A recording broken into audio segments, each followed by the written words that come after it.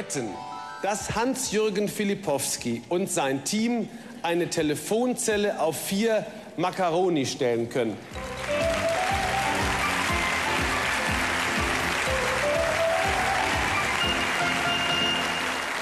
Männer, bitte jeder eine Nudel. Eine, eine ist angebissen, Vorsicht, das ist die kurze. So. Bitte schön. Ach, wunderbar. Der Mann hat einen Blick. Das war unsere beste. So. Noch eine Nudel. Vier Nudeln. Denn wichtig ist natürlich auch gleich groß sind die Dinger, sonst hat es ja keinen Wert, steht die Zelle ja schief. Geht's euch gut? Fühlt ihr euch wohl? Klasse. Keine Erkrankungen irgendwelcher Art? Nein. Du, na bitte nicht. Ich bin heiser. Heiser, das müsste gehen. Er gibt die Kommandos. Bitte an die Zelle. Ich darf mich dieser Nudeln hier entledigen. So. Ja. Nochmal, Moment, ganz kurz zur Zeit. Die Aktion dauert fünf Minuten. Innerhalb dieser fünf Minuten muss die Telefonzelle auf den Nudeln stehen. Und dann muss diese Telefonzelle fünf Sekunden auf den Nudeln stehen bleiben. Die zweite Uhr mit den fünf Sekunden wird dann gestartet, wenn du mir freundlicherweise das Kommando gibst. Wie heißt das Kommando? Steht. Zelle steht und dann fünf Sekunden, dann kracht sowieso. Länger halt auch die beste Nudel nicht durch. Sind wir soweit? Jungs, Jungs, Äh, seid ihr bereit? drück euch die Daumen. Wir sind bereit. Top, die Wette gilt. Okay. Also, langsam auf Lichtspalt gehen.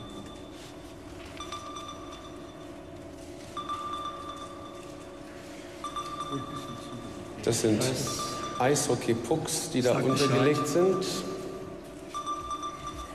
Und das sind Okay. offensichtlich so hydraulische Okay. Wagenheber, die jetzt ganz langsam abgesenkt werden. Alles klar. Es geht darum, jetzt Ist gut. Jetzt äh, diese Zelle nun millimetergenau abzusenken. Die Nudel in die Glut des Puckes. Drauf. Alles klar. Michael, Michael, du bist noch nicht auf Ist gut?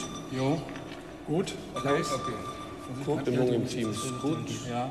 Richtig, Micha, gut. Okay, Bei mir ist äh, gut. jetzt geht man so langsam alle auf Druck. Die Herrschaften gehen auf Druck. Gleichmäßig. Achtet auf euren Gegenüber. Achtet auf euer Gegenüber. Ist da? Bei mir ist mit dem Puck ein Ja. bisschen nach vorne, glaube ich. Bitte langsam die Finger rausnehmen, Freunde. Bisschen. Ein bisschen höher, glaube ich. Jetzt passt auf, ja, geht bisschen etwas, etwas, etwas, ist gut. Äh, ihr müsst hinten. Mein ist gut. Gut? ja, ihr müsst jetzt hinten etwas tiefer kommen, weil die vorne sind schon etwas. Moment. Ist gut. Jetzt geht alle noch ein, Sch- ja, ich, ein Stückchen. Weil geht alle noch ein Ja, Stückchen. Ja, langsam, Kurt. Langsam. Noch Weiter. nicht, noch nicht, noch nicht. Jetzt. Etwas noch tiefer. Jürgen, du musst, musst etwas tiefer. Martin, ich bin drauf aufgedreht. Man dreht auf. So, steht fünf Sekunden, läuft. Und Drei, vier, fünf! Die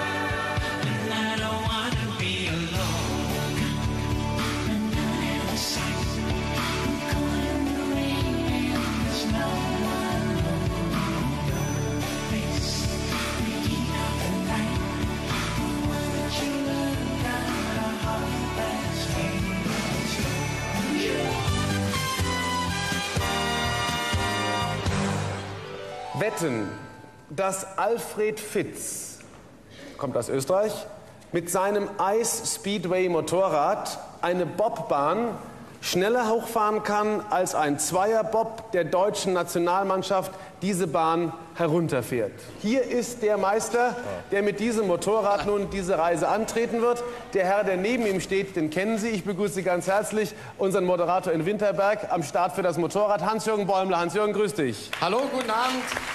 Servus, Tommy. Ja, hier stehen wir. Und hier ist eine Menge los. Ich kann nur sagen, Regen von oben, Eis von unten und Wind von allen Seiten. Aber es wird sich lohnen. Alfred Fitz ist neben mir. Und was er macht, das haben Sie schon gehört. Ich habe auf Eis schon viel erlebt. Das noch nicht. Er ist Tiroler. Er ist scheinbar ein lustiger Tiroler. Oder wie kommt man sonst auf eine solche doch etwas verrückte Wette? Ja, nach dem Training, was wir am Konditionstraining haben vom Motocross, äh, haben wir, was ich sag, mit Bobfahrer zusammengesessen und dann haben sie gerade ein, ein Formtief gehabt. Nicht? Und sie haben gesagt, ja, es läuft nicht richtig und so. Dann habe ich gesagt, ja, ich fahre schneller die Bobbahn hoch wie er runter mit dem Bob, nicht mit der Motocrossmaschine. Nicht? Und so ist das entstanden. Ist denn diese Maschine jetzt speziell ähm, bobbahnmäßig ausgerüstet? Nein, es ist eine serienmäßige Motocrossmaschine und äh, ist mit äh, Speich bestückt. Ja, also die schauen wir uns gleich mal an. Hier sind Spikes zu sehen. Und er hat mir erzählt, er macht die Spike-Reifen selbst. Wie geht das bitte? Ja, da werden 150er Nägel eingeschlagen von innen. Und dann werden sie abgeschnitten auf die Länge. Und dann werden sie in einem gewissen Winkel zugeschliffen. Der Bob fährt mit circa 80 Stundenkilometern im Schnitt die Bobbahn runter und erreicht 120 Stundenkilometer. Wo sehen Sie Ihre Chance überhaupt zu gewinnen? Ja, die Chance ist, durch die Gleichmäßigkeit der Kurven zu fahren. Und äh, Patti sagt, dass ich eine tiefere Linie fahre wie der Bob. Und durch das kann ich ein Stück Wege auch wieder äh, gut machen.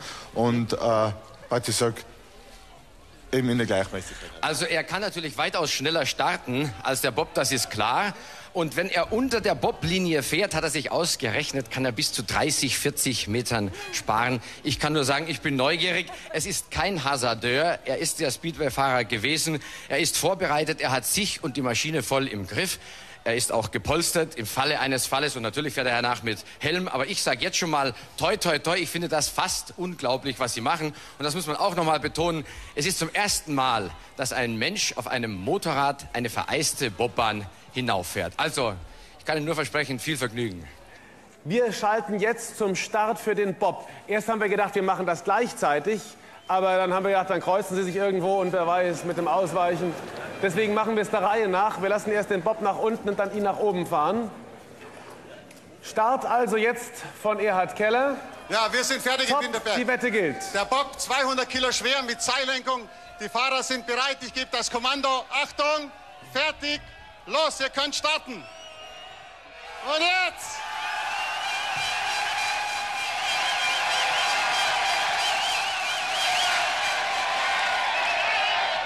Sie sind unterwegs.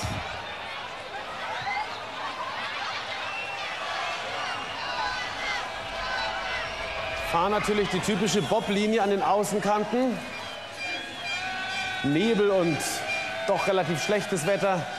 Das heißt, die Bahn ist nicht ganz so schnell für den Bob. Das gibt unsere Motorradchancen.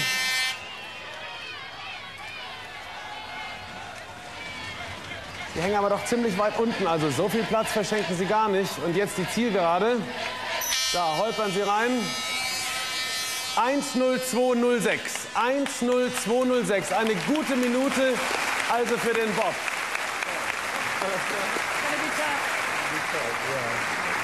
Eins null zwei null sechs. Gegen die Zeit tritt Alfred Fitz an. Du bist optimal vorbereitet. So, und jetzt die Zähne aufeinander, damit nichts klappert. Auf die Plätze, fertig! Moment, Achtung. Moment. Ich sage erst Ruhe, top, die Wette gilt. Tommy, du wirst überziehen. Achtung, auf die Plätze, fertig, los! Und er ist in der Bahn. Ab dem Start läuft die Zeit. Sie läuft ab dem Startpunkt und jetzt läuft sie. Das ist also die vergleichbare Zeit. Oh. Es sieht gefährlich aus. Er ist in der Bahn, hat einen Heidenzahn drauf. Da zittert man jetzt doch. Auf den Geraden kann er ein bisschen was gut machen und in den Kurven dann seinen entscheidenden Vorteil rausfahren. Er geht aber auch ziemlich hoch auf. 47, 48 Sekunden. Wir haben jetzt keine Vergleichszeit, wie weit er ist. Jetzt ist er auf der... Höhe, er ist oben!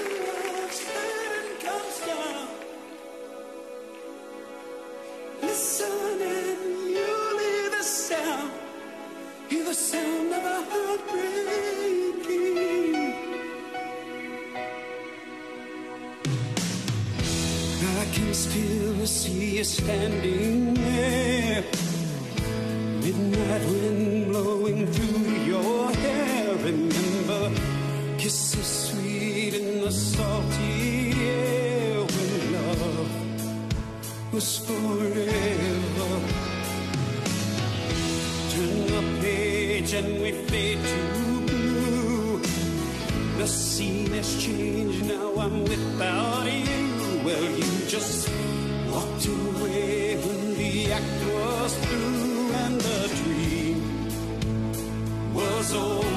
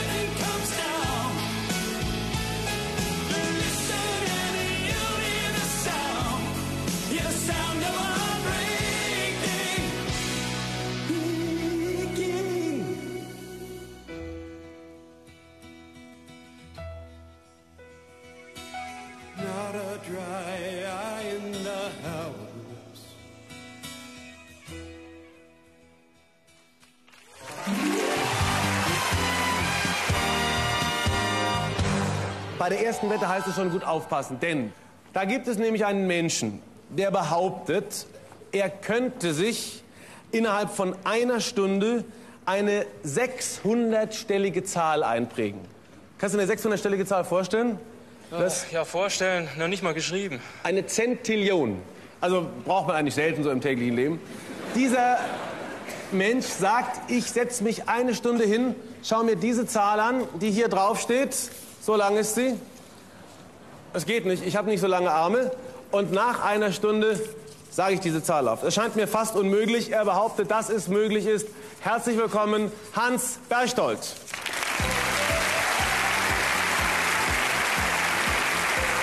Hans. Guten Abend. Hans Berchtold kommt aus der Schweiz.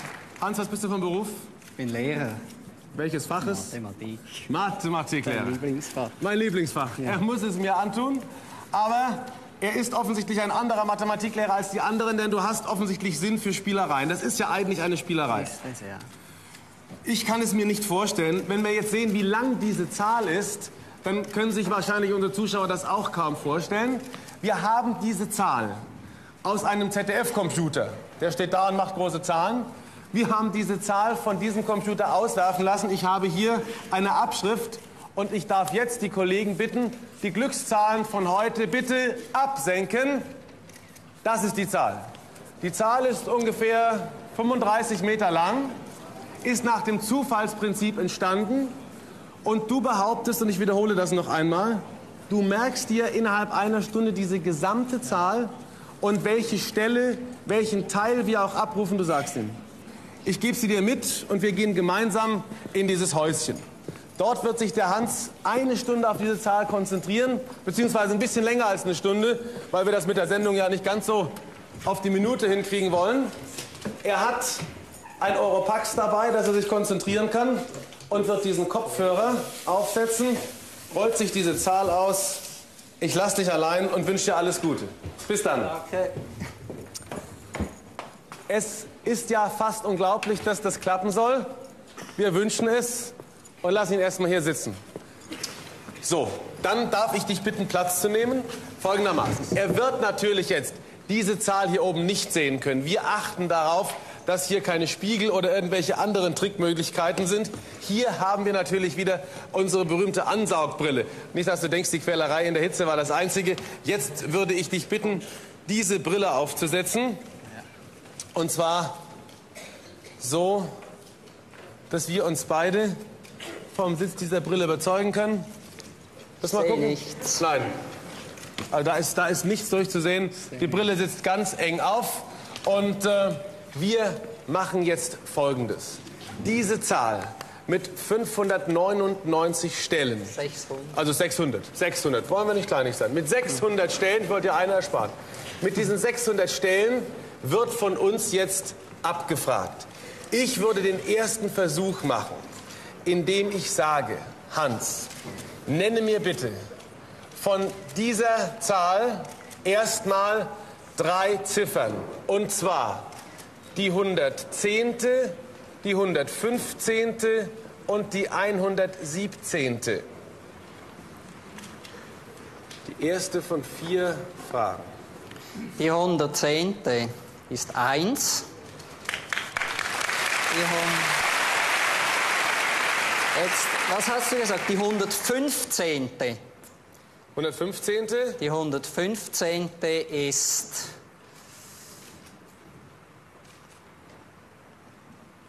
Eins. Ja.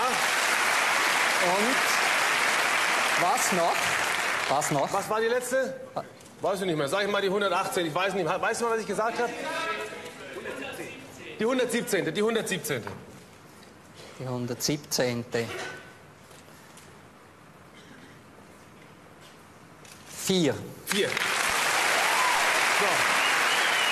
Dieses. Entschuldigung, stört dich, stört dich der Beifall zwischendurch? Nein. Nein. Oh, bitte. Dieses war die Aufwärmphase. Wir kommen zur Phase Nummer zwei. Ich darf den äh, Michael vielleicht bitten. Michael, eine ganz bestimmte Ziffer zwischen 1 und 600. Er wird, Hans wird dann die zehn nächsten Ziffern nennen. 273. Bei der 273. Stelle bitte einsetzen und zehn Ziffern nennen. Also die 273. Ja, Das ist eine 7. ja. Dann kommt. Jetzt, jetzt lasst ihn die nicht, sagen. jetzt nicht, ja, jetzt, Jetzt nicht. jetzt 3, 3, 4. Entschuldigung? Nochmal, nochmal. Also, die 273. war die 7, das stimmt. Weiter. 7. Ja, nein, jetzt stimmt's nicht. Jetzt heißt es 3, 4, 4, wollte ich sagen. Weiter, ja. Dann 2, 8, 2. Ja. 3, 9, 1. 4, 8, 4. Bravo.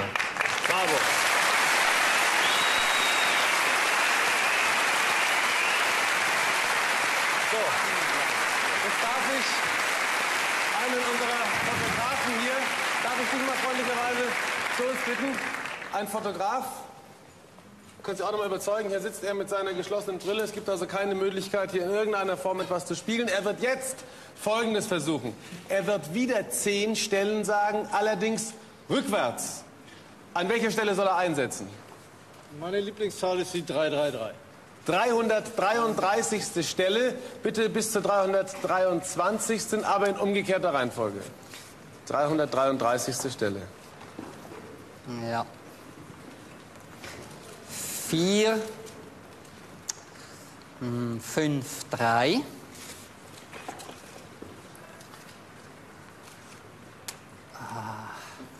Sieben, sieben, sechs, sieben, vier, acht, sechs, acht, sieben. Wahnsinn. So. Darf ich jetzt bitte vielleicht in der zweiten Reihe den, den Herrn bitten, der mit der braunen Jacke, der gerade klatscht, ja? Er wird 100 Stellen. 100 Stellen am Stück. Das ist die letzte Aufgabe. Wenn er das geschafft hat, wollen wir es gut sein lassen. Von welcher Stelle bitte soll er anfangen? 150. Von der 150. Position. Dankeschön. Also Hans, bitte. 150 bis Von der 150. Position bis 240. 249. Bis 240. 240. Okay. So, Konzentration, Ja. bitte Ruhe. Muss einen richtigen Einstieg finden da. Ja.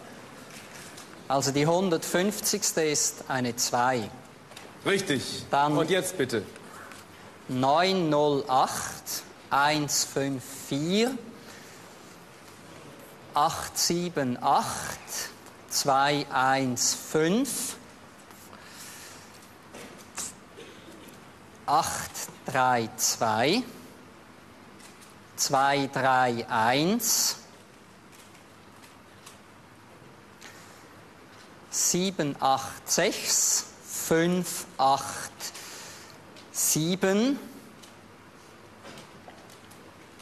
6, 4, 8, 5, 5, 6, 4, 9, 5, 2, 0, 5, 4, 1, 8,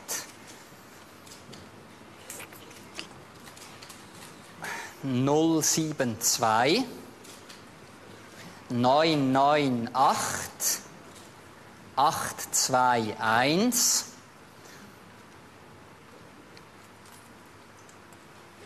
drei, acht, acht, zwei, neun, sechs, null, zwei, acht, neun, acht, vier, drei, vier, zwei, neun, drei, neun, acht, fünf, eins, eins, drei, eins, 895 235 190 773 Entschuldigung. Wiederholen, du kannst wiederholen. ja Die 233. Also wir, wir waren recht 1907. 190 habe ich gesagt, Ja. ja. Ah, jetzt habe hab mich verschwatzt. 733. Na bitte. 733, ja, ja, ist klar. Ist klar. 733. Jetzt kommt äh, 674, 792, 891, 033, 127. Wahnsinn.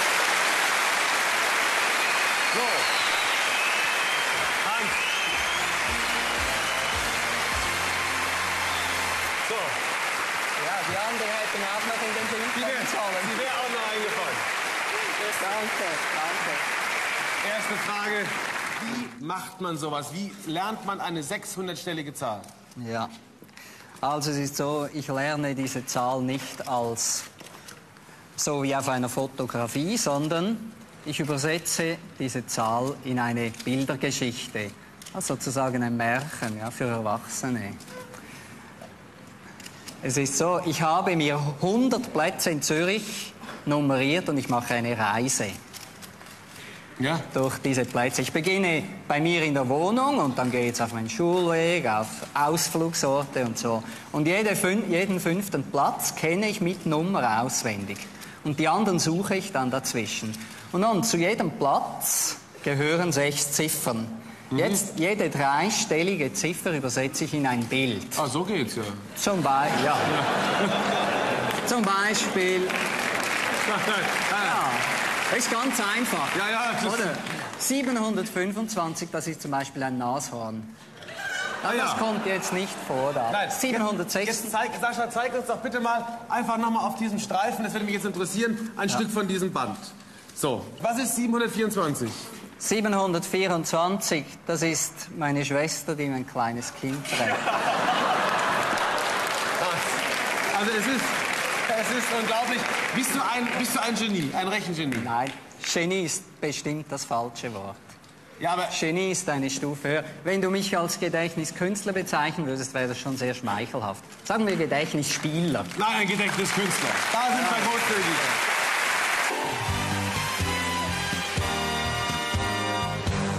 Wetten das, Bernd Braun und Ralf Jammerzheim. Eine in der Mitte durchgesägte Holzbrücke.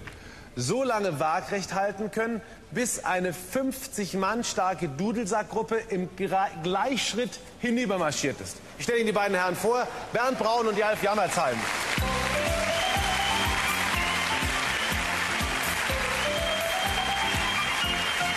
Bernd, grüß dich. So, die Bodybuilder melden sich bereits. Kommen müssen hier ran. Folgende Erklärung. Also jeder, der bei der Bundeswehr war oder der sich sonst mit den Dingen der Physik beschäftigt, weiß, dass es nichts Gefährlicheres gibt, als wenn viele Soldaten, es können auch Pfadfinder sein oder was weiß ich, im Gleichschritt über eine Brücke marschieren. Es ist schon passiert, dass eine Eisenbahnbrücke eingestürzt ist, weil nur eine Division von 110 Leuten, glaube ich, darüber marschiert ist. Das heißt, der Gleichschritt bringt Brücken in Schwingungen. Das heißt, dass die Belastung für euch sehr, sehr viel größer ist, als wenn da nur 50 Mann drüber latschen, was mir allerdings schon reichen würde. Das heißt, dass wir also jetzt hier die beiden Herren präsentieren, dass ihr euch bitte bereits Informationen hier mal hinlegt und dass wir jetzt hier unten bitte einmal kurz hinzeigen. Jetzt werden Sie, wenn Sie die Brücke hochheben, natürlich diese beiden roten Enden vom Boden entfernen. Und die dürfen den nicht mehr berühren, bis die Wette um ist. Also, wenn die Ellenbogen weich wären und die beiden roten Zapfen hier auf dem Boden aufkommen, ist die Sache erledigt und die Wette verloren. So, jetzt kommen die Männer, die im Gleichschritt Mann für Mann über diese Brücke marschieren werden. The First Royal Scots, please.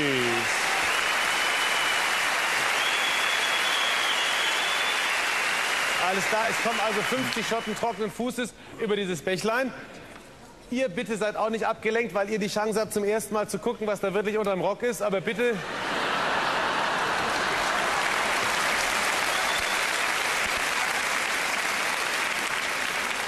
Meine Herren, sind Sie soweit? Gut.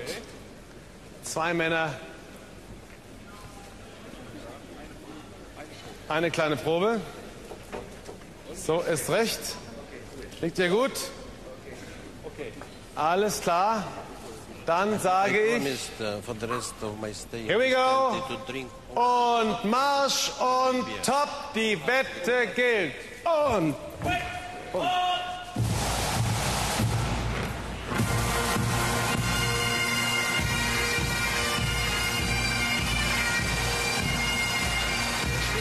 Vale, no,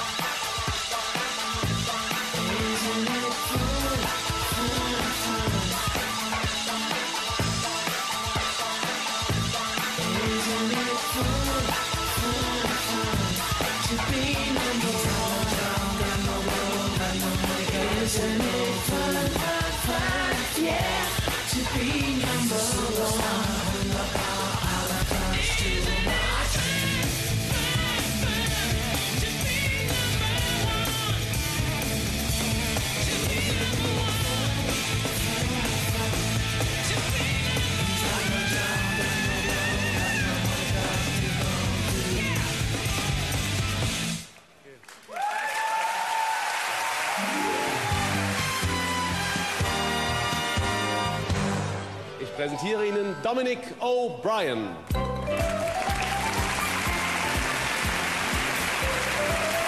Dominic, guten Abend. Bitte schön. Okay. Passen Sie jetzt gut auf. Das ist nicht nur etwas für Kartenspieler, sondern für alle, die also immer Gedächtnislücken haben. Für Sie wird es unvorstellbar sein. Für mich ist es auch nicht begreifbar. Er ist Engländer und bekommt alles, was ich jetzt sage, natürlich übersetzt. Er hat sechs Kartenspiele vor sich liegen, die von uns sind, die in keiner Weise präpariert sind. Ich darf auch die Esther freundlicherweise jetzt mal zu uns bitten, damit sie das tut, was man mit Kartenspielen normalerweise macht, nämlich mischen. Einfach einen beliebigen Stapel nehmen, ich auch. Ich habe so die Mischmethode Schwarzer Peter hier, Achtung. Ja, du machst das auch ganz geschickt, ja. Was jetzt passieren wird, ist folgendes. Machen wir noch gemein, jetzt legst du deins hier und ich leg meins dahin. So, was jetzt passieren wird, Dankeschön, ist folgendes. Dominik wird sich den ersten Stapel nehmen und wird sich die Karten angucken. Er wird dann diese Karten abgeben, den zweiten, dritten und vierten Stapel angucken. Wenn ich ihn nach ungefähr einer halben Stunde fragen werde, was ist die dritte Karte im fünften Stapel, wird er mir sagen, es ist diese. Pik 9. Glauben Sie es? Er wird es versuchen und wird noch andere überraschende Antworten geben. Nun muss man ja den Mut, sich hier hinzusetzen, erst mal haben. Äh, wann hast du denn gemerkt, dass du das kannst? Also hast du irgendwann Karten gespielt und das nicht mehr vergessen können? Oder wie, wie läuft denn sowas? Vor zwei Jahren habe ich gesehen, wie jemand ein Kartenspiel sich eingeprägt hat, im Varieté. Und dann habe ich geübt jeden Tag, zwei, drei Stunden, ein Vierteljahr lang. Und dann habe ich es besser gekonnt als er. In anderthalb Minuten hatte ich ihn hinter mir. Gut. Glau glauben Sie, sind Sie im Saale erstmal der Meinung, dass das möglich ist? Nee, ne? Also ich halte es für unmöglich, dass ein Mensch sich in kürzester Zeit 312 Karten einprägt. Wir werden es sehen, werden dann natürlich auch eine Wettpatin finden. Jetzt lassen wir ihm die Zeit. Einzige, was nicht passieren darf, ist, dass uns sie nachher runterfallen. Wir müssen natürlich in der Reihenfolge entgegennehmen, in der sie sich gemerkt hat. Aber da haben wir eine ruhige Hand. So, Dominik. Die ersten zwei, drei bleiben wir bei dir. Und dann verlassen wir ihn. So, Zeit läuft. Merken sich die ersten drei zu Hause mit. Da wird schon, bei der vierten wird schon schwierig. Mhm. Ich darf ihn bitten, die Brille aufzusetzen. So, wenn wir Ihnen ein bisschen helfen. So, also, er sieht nichts mehr. Er hat also nur ein bisschen Wind. Und jetzt öffnen wir den Vorhang. Now we open the curtain. So. Schauen Sie mal, jetzt muss ich Sie mit einem Problem vertraut machen, das ich auch habe. Ich bin nämlich kein großer Kartenspieler. Ich tue mir also schon hart, die Sachen in Deutsch zu erkennen, geschweige denn in Englisch. Das heißt, wir machen einen ganz kurzen Einstiegslehrgang, wie diese Karten in Englisch heißen, weil er kann es ja nur so. Das kann man ja einsehen. So, also, Kreuz, dieses zum Beispiel, heißt auf Englisch Club. Dann heißt zum Beispiel also Kreuzzug Club Train. Also man kann das. So, also gut, das merken wir uns. Kreuz. So, aber gut. Dieses Kreuz, merken wir uns, helfen Sie mir nachher. Dieses ist also, hier hat so die Form eines Schäufelchens. It's a spade. Bei uns ein Pickel. Das wird, na Quatsch. Also, äh, Peak. Peak ist in Englisch Spade. Das kennen wir auch alle. Herz, also Heart. Und das ist also hier pulverlöslicher, koffeinfreier Kaffee, heißt in Englisch Diamond.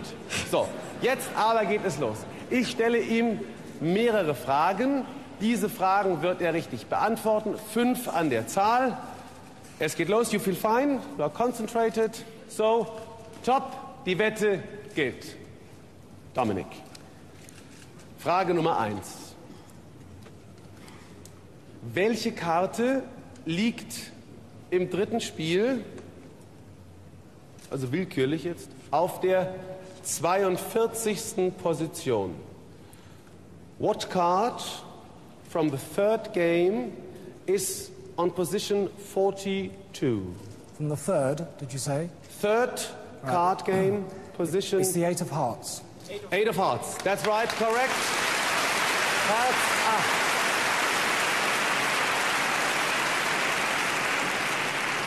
Andersrum gefragt, auf welcher Position liegt im fünften Spiel das Herz Ass? Tell me the position of the Ace of Hearts from the fifth game. Okay. It is. Um,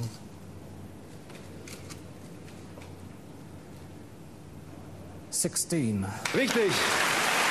Position 16.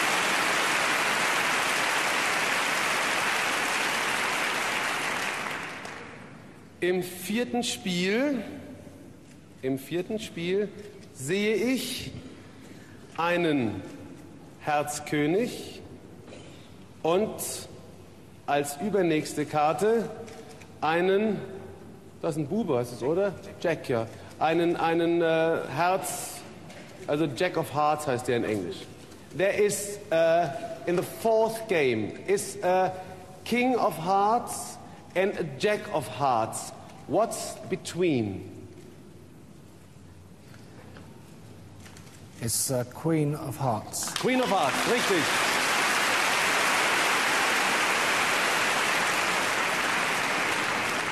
Auch fast nicht vorstellbar. Er behauptet, er könnte auch jede Reihe in dieser Richtung sagen. So, nach welcher fragen wir ihn? Und sagen, gehen wir mal in diese Richtung. Please, tell me the cards from the first to the sixth game down. 42 down. Uh, number one is the Queen of Spades. Right? Correct.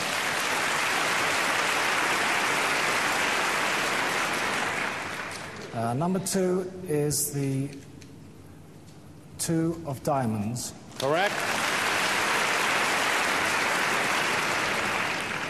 Number three is the Eight of Hearts. Right.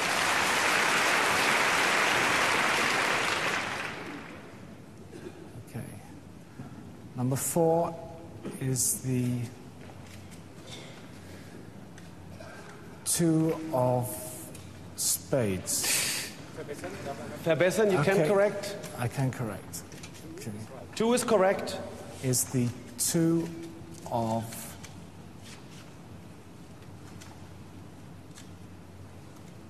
Hearts. Right, correct.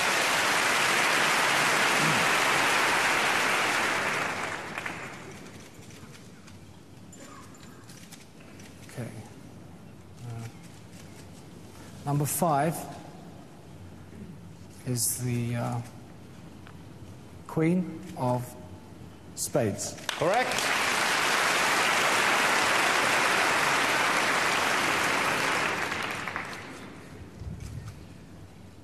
Number six is the Ten of Spades. Ja. So.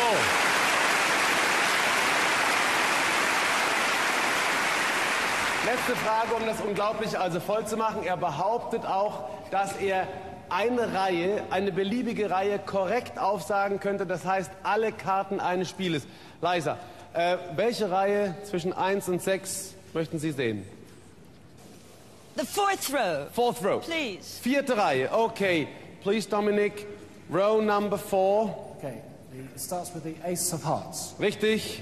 Two of clubs. Three of diamonds. Correct so far? Correct. Five of spades. Correct. King of clubs. Correct. Queen of clubs. Correct. Jack of clubs. Correct. Ace of diamonds. Correct. Three of clubs. Correct. King of hearts. Correct. Queen of hearts. Right. Jack of hearts. Right. Six of diamonds. Right. Eight of hearts. Right. Three of hearts. Right. Nine of hearts. Yeah. Ten of hearts. Yeah. Five of diamonds. Yeah. Seven of clubs. Yeah. Ten of diamonds. Yeah. Jack of diamonds. Yeah. Four of diamonds. Yeah. Correct so far? Yeah, Ten correct. of clubs. Yes, correct. Seven of hearts. Correct. Eight of spades. Correct. Three of spades. Correct. Six of hearts. Correct. Ten of spades. Yes. Nine of diamonds. Yes. Seven of spades. Yes. Four of clubs. Yes. Eight of clubs. Five of hearts. Well, yeah. Correct? Yes, correct. Five of clubs. Yeah. Four of hearts. Yeah. Six of clubs. Yes. Nine of spades. Yeah. Queen of diamonds. Yeah. Nine of clubs. Yeah. Eight of diamonds. Yeah. Six of spades. Yeah. Two of hearts. Yeah. Four of spades. Yes. King of diamonds. Yes. Two of spades. Yeah. Two of diamonds. Yes. Ace of clubs. Yeah. Seven of diamonds. Yeah. Jack of spades. Yes. Queen of spades. Yes. King of spades. Yes. Ace of spades. Correct. That's it. Okay. Dominic O'Brien, congratulations. Wette gewonnen.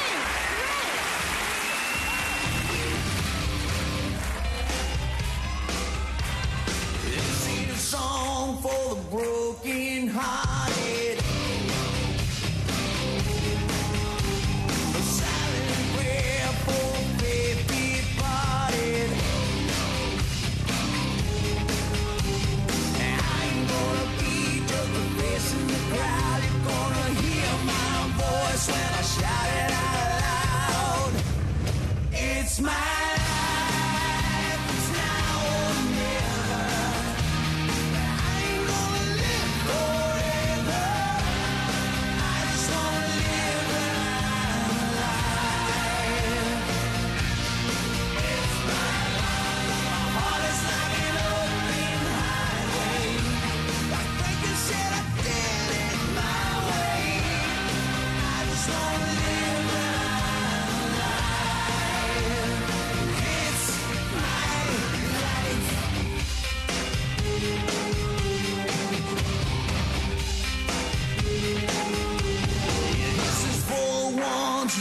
today.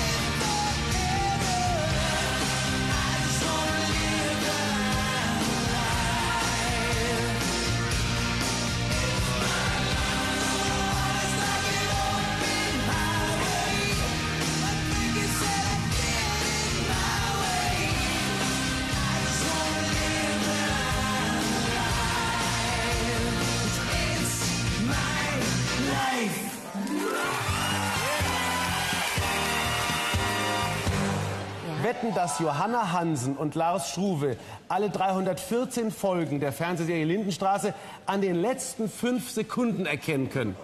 Wir werden Post bekommen, warten auf unseren Briefträger in der Lindenstraße.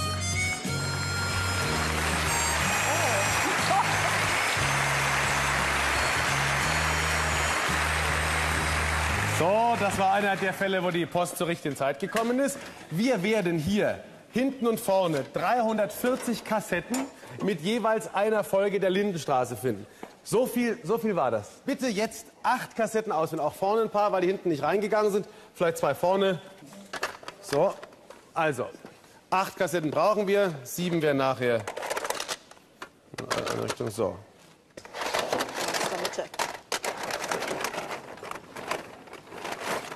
So, Moment. Eins, zwei, drei, vier, fünf, sechs, sieben. Dankeschön. Hier sind meine beiden Kandidaten. Hier sind Lars und Johanna. Herzlich willkommen. Gut.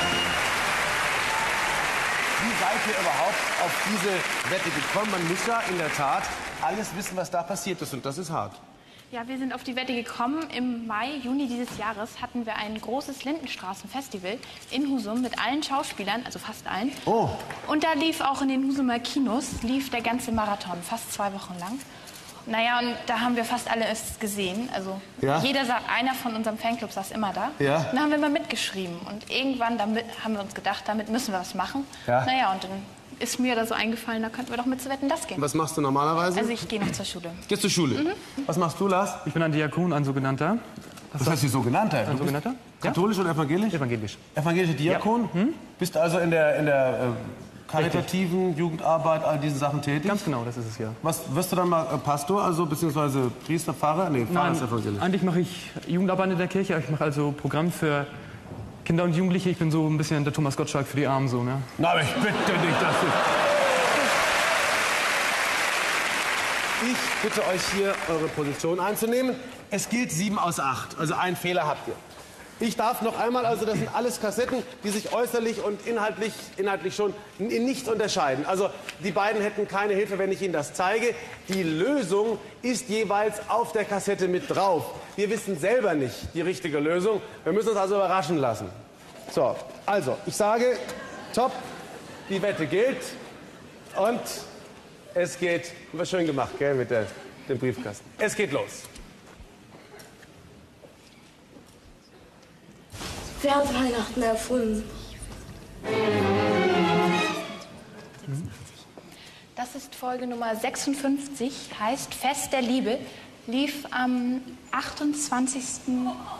28.12.1986. Na, da sind wir mal gespannt. Hier kommt die Lösung.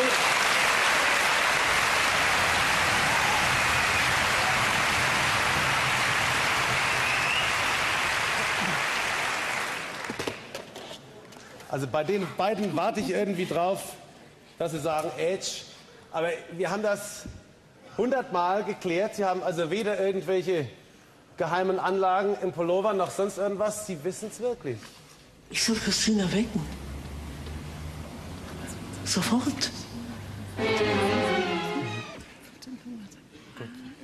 Das sind 88 Sag nochmal die Nummer. Ich hab's nicht verstanden.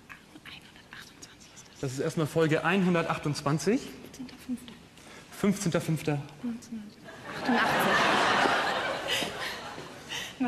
1988. 1988 und heißt Demonstration. Demonstration. Richtig. Ui.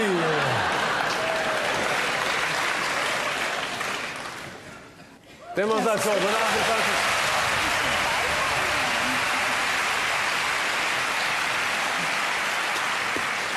Hier Kassette Nummer 3. 314 Folgen hat es gegeben. Sie können sie alle. Vera, Lassen Sie mich doch überlegen.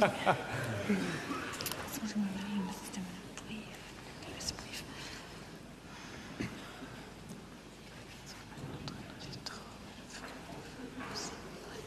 Jetzt sage ich's. Ja. Ja.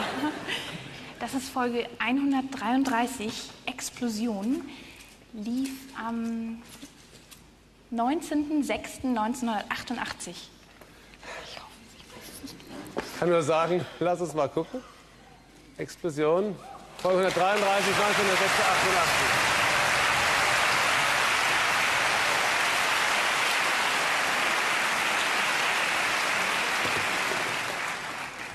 Das solche winzigen Stückchen, also jeweils die letzten fünf Sekunden vor dem Standbild.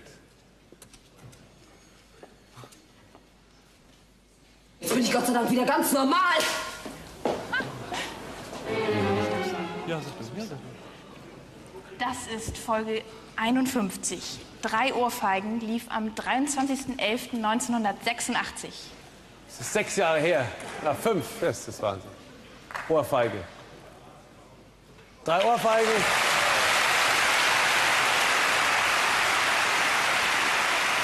Vier haben wir. Noch drei.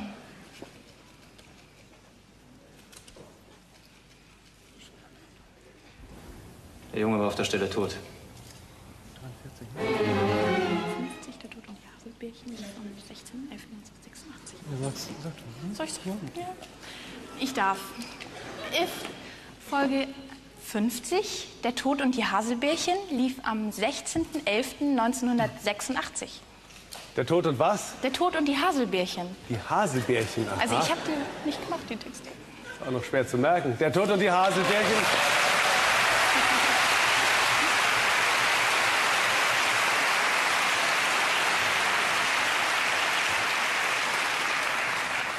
Die sechste. Ich sage noch einmal, es gibt also keinerlei Hinweise, die Ihnen helfen könnten.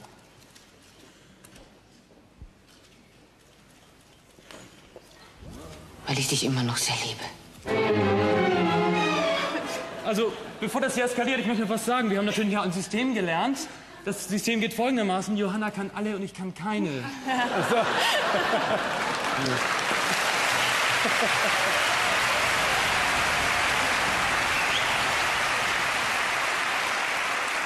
Ich sage ihm jetzt aber ein bisschen vor, damit er auch was sagt. Das ist eine gute Idee.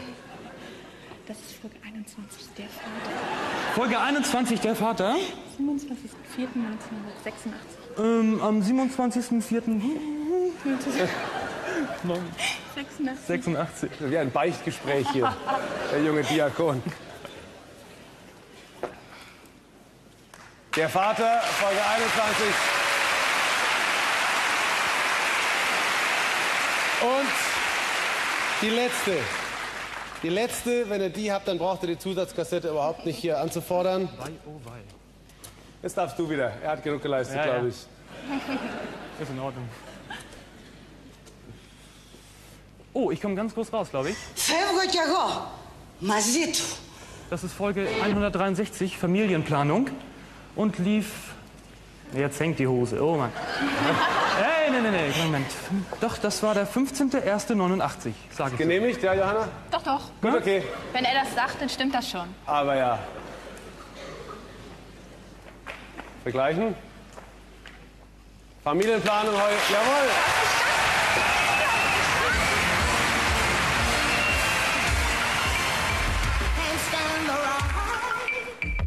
Against my window.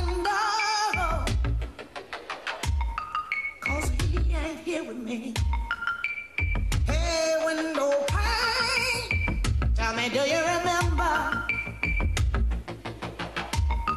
how sweet it used to be?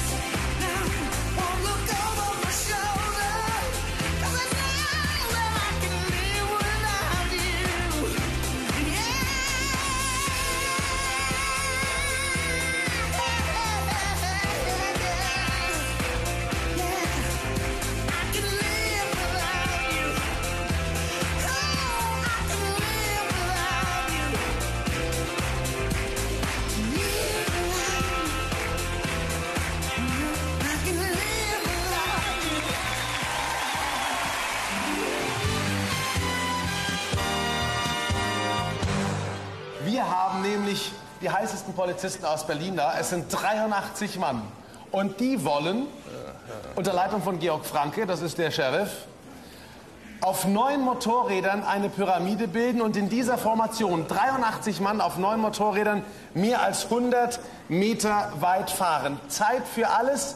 Vier Minuten, das Ganze wäre der Weltrekord. Es gibt einen Guinness-Buch der Rekorde, das waren Inder. Aber die sind ja auf Inder-Motorrädern gefahren, also das sind so wie Kindermotorräder, ein bisschen größer. Und bei uns sind es natürlich richtig ausgewachsene Berliner Polizisten, 83 an der Zahl, auf neun Motorrädern. Ich hoffe, es hat aufgehört zu regnen. Da sieht man sie jetzt. Georg Franke? Ja, hier. Ja, hier. Ach, super, meldet sich der Berliner Polizei. Georg, du bist der einzige Polizist, den ich duze. Äh, Und, und du duzt mich. Sag mal, auf dieser weißen Linie fahrt ihr entlang? Ja, das ist für mich die Richtlinie hier. Ja, dann, äh, sie ist ein bisschen, ein bisschen eierig, aber ich hoffe, das macht nichts. Nein, das kriegen wir hin. Ich darf Sie bitten, die Motorräder auf Position zu bringen. Und wenn die auf Position stehen, dann kommt mein Kommando. Fertig! Oh ja, jetzt rauschen die Zündabmotoren auf. Wir sehen, Sie haben da hinten eine kleine Leiter.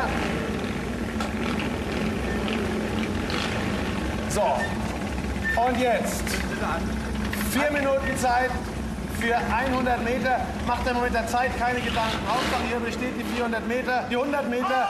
Top! Die Wette gilt. So, aufbauen. Sie können gerne, ja. Polizist auf Polizist.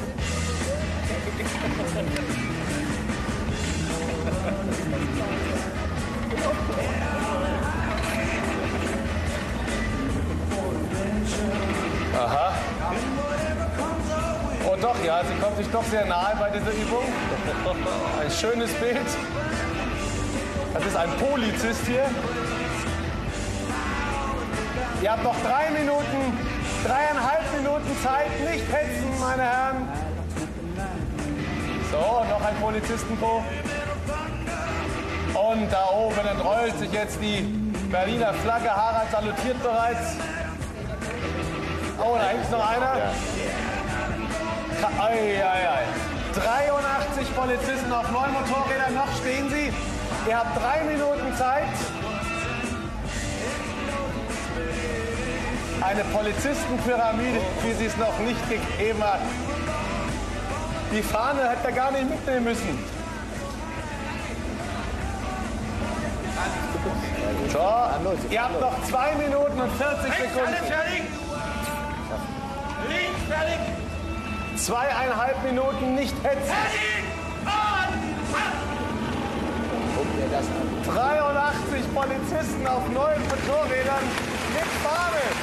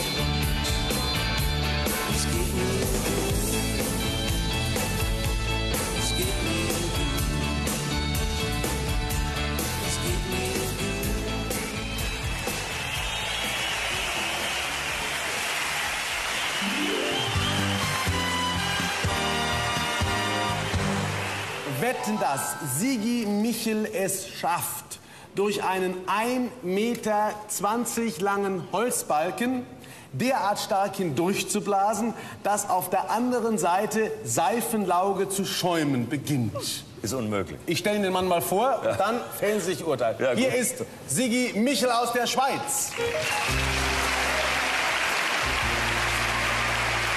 Sigi, glücklich.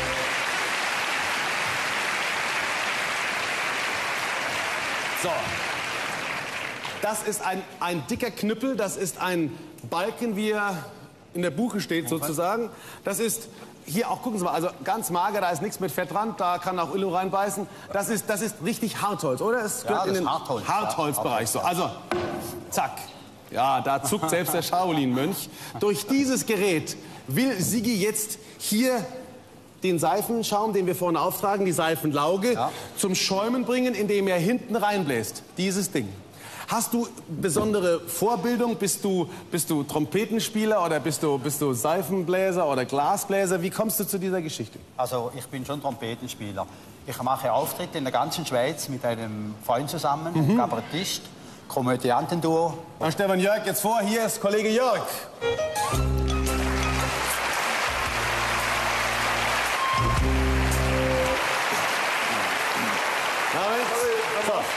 Du hast die Trompete dabei. Wollt ihr wenigstens einmal, einmal reinstoßen? Also ich meine zur Ehre der Schweiz. Das sind wir den Schweizern schuldig, glaube ich. Hier. Euer Sicki, oder?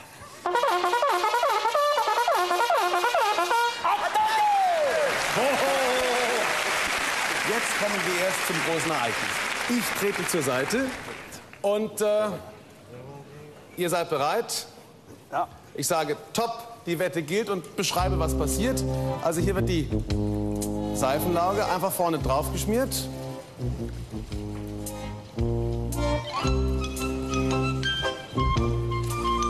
So, und dann sollte es, wenn er zum anderen Ende reinpustet, vorne anfangen, sichtbar zu schäumen. Also, man muss es sehen, nicht wie diese italienischen Wunder da. Das muss eindeutig sein. So.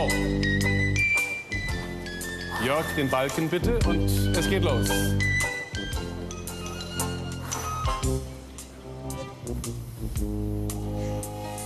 Jetzt gibt er Gas.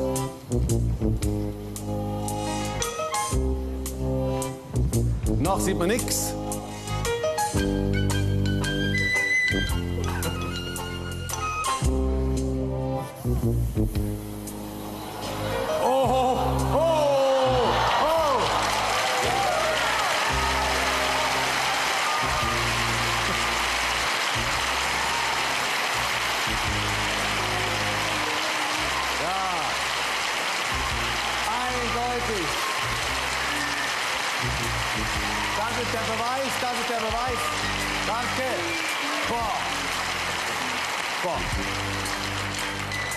Jetzt versuch mal wieder zurück. Zieh an. Komm.